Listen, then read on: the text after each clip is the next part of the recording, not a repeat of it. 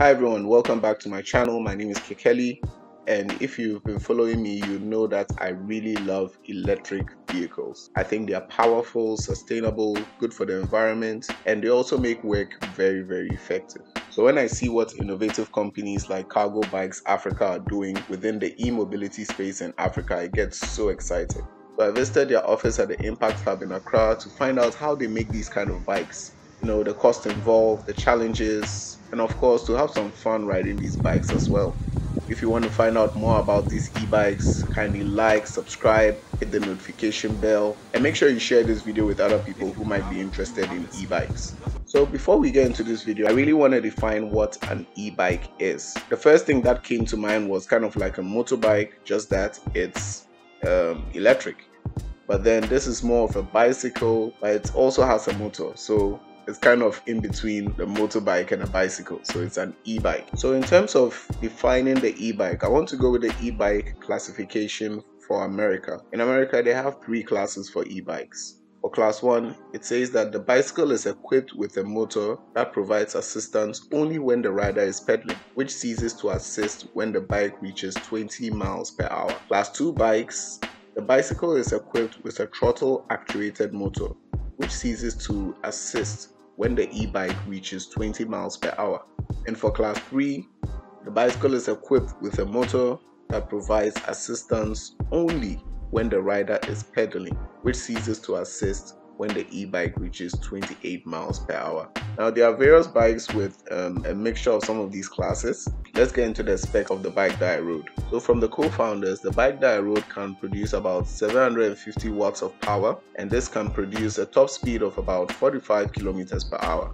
Not too bad for a bike. You can use the throttle to accelerate or you could just ride it like a regular bike and the motor will kick in automatically to help you pedal and help. It is very useful when you need to climb hills and all that. It makes it very very easy for you to ride the bike like a normal bike just that you are being assisted by the motor. The bike can also carry 140 kilograms comfortably so that's roughly about two adults. It has two brakes like any bike, but also has a headlights, brake lights, and trafficators. The bike is actually roadworthy and can be used on the sidewalk as well. So this is very good for delivery situations. You have more routes. You can either use the sidewalk or be on the main road, whichever way. Because it's a bicycle, it can traverse tight corners and alleys that normal um, bikes or even cars will not be able to. So technically you don't need a license to ride this bike since it's a bicycle and uh, when I checked the DVLA website I didn't see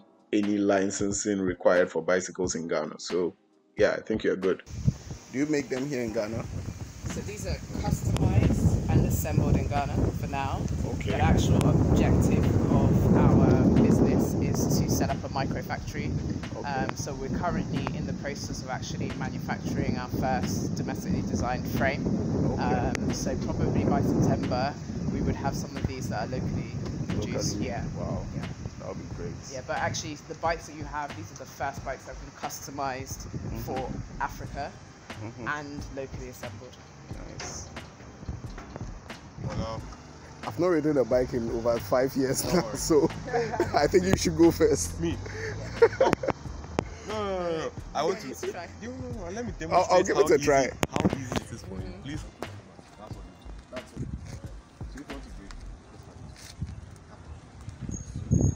Now, one of the features I really like about this is the tires. The tires are very big and strong. They make you feel very balanced on the bike. Because the tires are also large, they also grip a larger surface area of the road, making you feel very, very grounded as you're riding the bike. You know, one amazing thing I found is that these bikes are assembled right here in Ghana. Cargo bikes have been doing this for about two years now. They started in the northern region of Ghana and have iterated their bikes to suit the Ghanaian conditions. Now let's talk about the battery and the charging. When it comes to e-mobility, the battery and charging ability cannot be overlooked. The full charge can give you a range of about 70 kilometers before your next charge. To put it in perspective, that's about from the Tema roundabout in Accra to Winneba. You might get to Winneba. I mean, very, very close to Winneba in the central region, and that's on a full charge. And to me, I think the versatility of the batteries is another plus for me since it allows you to easily swap your battery within seconds. So if you are riding and then you run out of power, you can just swap your battery and you have another 70 kilometers that you can ride out. Now, a new battery is synonymous with a new bike, so swapping can really increase the lifespan of your bikes so they always feel brand new. ISO notice is a swappable battery. So every Oh. bike comes with two batteries. So Oh, you I can see. always either have one on charge or have another charged one with you. And then when you want to swap over, then you just swap it out. So we're in Oh, the process nice. of setting up oh, also batch solar charging stations across the city. So Mm-hmm. in the long term, you wouldn't even need to carry a spare battery. You'd be able to just navigate to one of our cargo bikes, swap points, and just swap out your battery. And that's it, Yeah. you can move on. Yeah, so this is really for us. We want to make sure you can go as far as you need to go to actually reach the destination by making sure that there's just available batteries for you to swap out. So you don't need to worry about range. You Wow. just need to enjoy your ride. That's cool. So in terms of charging stations too, I can see there's a So this one is like one of thing there, but it's not yet ready, right? No, so this the units are actually in the workshop. Okay. It's a, it's like bare bones. So it's like just a solar panel that connects to like a hybrid inverter. Okay. charge the battery. So it's solar powered, so So, it's so because like our you're getting free power basically. So we want to be able to, we want to be as, sustainable as possible. So within uh, like every facet, if it can be sustainable, we are sustainable. So we're looking for sustainable forms. So it might not, Is one of the things we're looking at. For example, Mm. set up like stations all around the city to make it easy for people to charge. Yeah. Also other sustainable energy resources are also considered.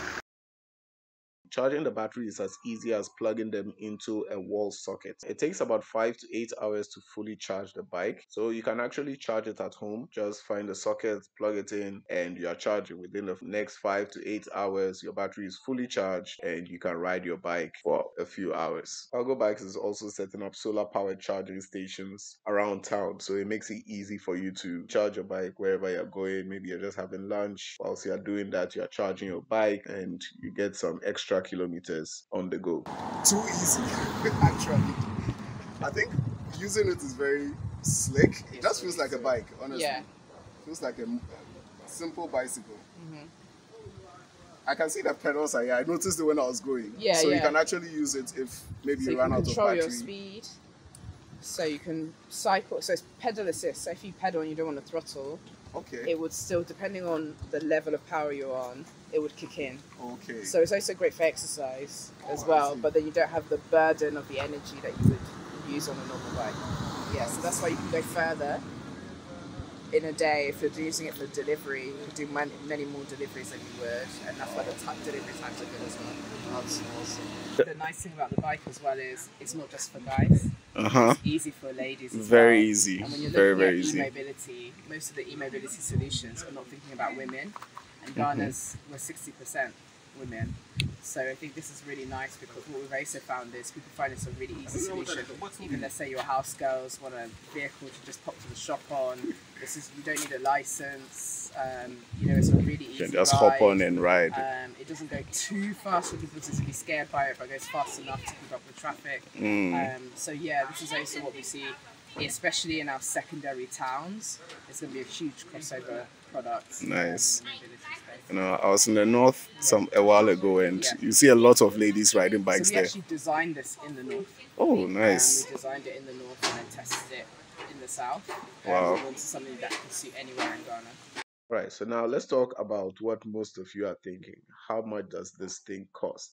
Do you guys offer any type of rentals for private people? Like, if I were to use it privately, can I rent it out? Not yet. Not yet. If you wanted to buy cash outright, maybe. Mhm. Um, but what we want to make sure is that we keep the ecosystem of the bikes. We want to make sure that we support the maintenance. Yeah. We're trying to change people's kind of perception of how to access mobility. Okay. And I think we have it in our mind that the only way to get a vehicle is to buy. Mhm. But actually now there's better models, and we think our subscription model is better. Um, so if you're an individual the way that we're saying that you could get it is if you work for an organization Mm-hmm. and then your organization registers with us for their staff to then get access to the bikes. Okay. So then you can still pay individually, but the relationship we will have would be with your employer. to employer. Yeah. So Cargo Bikes is currently targeting companies and organizations that can either buy or rent their bikes for businesses. They have a very cool subscription model that starts from as low as 400 Ghana cedis a month, and this price covers all other aspects of the bike like maintenance, the tracking, I mean everything. The servicing of the bike is 100% done by Cargo Bikes. You are just renting the bike, using it for your rounds. If you encounter any problems, you just need to give them a call and they come and take care of their own bikes. Those market strategies for individuals, no, sorry, for companies. Mm. So, because for a variety of options allows us to access a lot of uh, rider, uh, riders, like different type of riders Yeah. within like the content space. And in terms of like uh, from a, how do you say startup perspective, also allows us to manage like a relatively large number of clients without hassle because we only deal with company. As a business owner, I think this will give you a lot of um, freedom of mind so you can really focus on your business and not turn into a makeshift mechanic trying to fix so many things concerning the bike, you know. And I think it being an e bike also makes it very easy to fix because with a normal petrol bike, you are dealing with a whole engine with pistons and all that. So many moving parts that when there's something wrong, you really have to do a thorough analysis to find out where the problem is. But with an e bike, it's quite straightforward. It's easier to find a problem, it's easier to troubleshoot, and also easier and faster to fix. What's the main issue you normally get when you're with the bikes? Like, what's the issue people normally come back with? Uh, uh, it's punctured. Punctures on the tires. Yeah. Oh, okay. the tires are too big. eh? No, it's more. It's more like typically when you ride bicycles, it's just the. yeah, I mean that's one of the things you always change. You know. Like from any bicycle you ride, rear puncture is like you. So it doesn't matter if you ride this one or that one, you're gonna get punctured. Okay. We just resolve that one.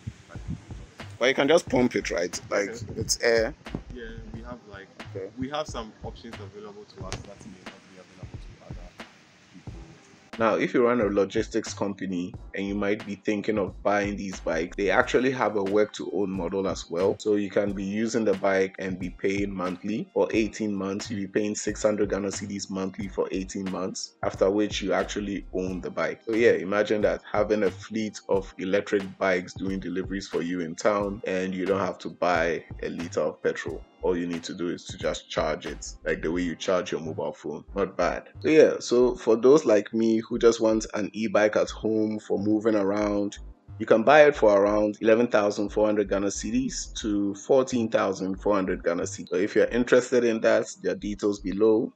And if you want to buy me one, feel free. I don't mind. So my experience with the e-bike was basically what I imagined. A smooth, noiseless ride with reasonable speeds and comfort. The e-bike meets expectations. So if you're a hardcore mountain biker or a casual biker, I believe using the e-bike will offer you value no matter where you're coming from. So yeah, let me know what you think about these e-bikes here in Ghana. Are they the future? Is it too early? Let me know your thoughts and let's discuss in the comments below.